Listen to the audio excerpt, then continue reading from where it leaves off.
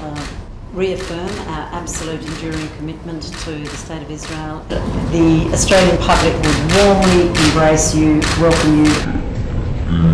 The Australian public would warmly embrace you,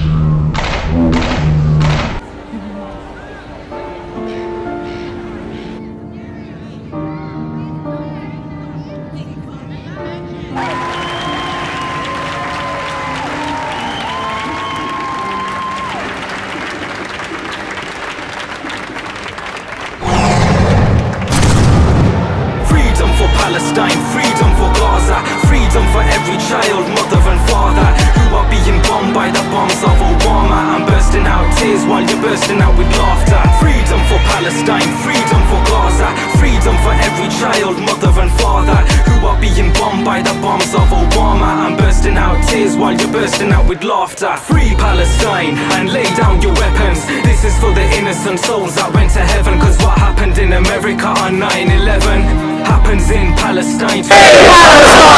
Israel,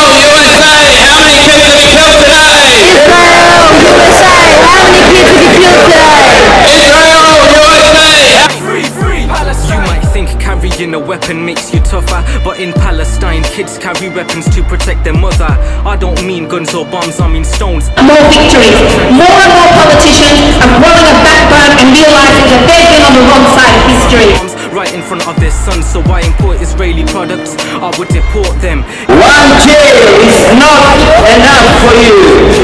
One jail cannot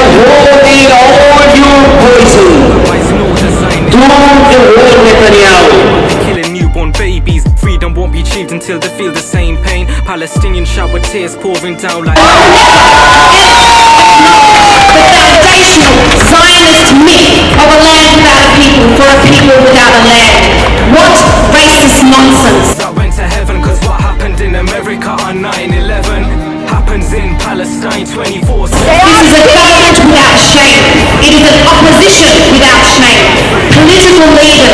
Political leaders who bask in the glory of courting a war criminal. Free Palestine, free, free Palestine. Israel is funded by many including Obama. Then to say that the bigger threats came from Osama. That's not true, most of that stuff laying out the red carpet to him, snuggling up tight to the leader of a racist colonial state founded on ethnic cleansing.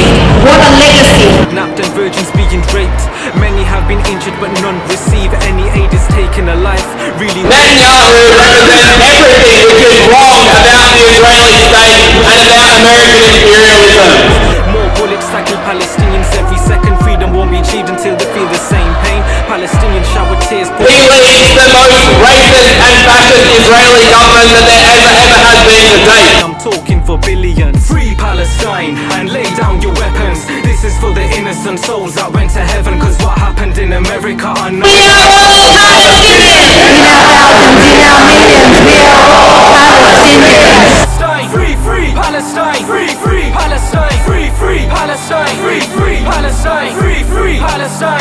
indicted on the murder of every last Aboriginal person in this country. The same as Nick Yarwood is hell bent on the murder of every last Palestinian in this country. Sing it. Free, free, Palestine, free, free, Palestine, free, free, Palestine, free, free, Palestine, free, free, Palestine, free, free, Palestine, free, free, Palestine, free, free, Palestine.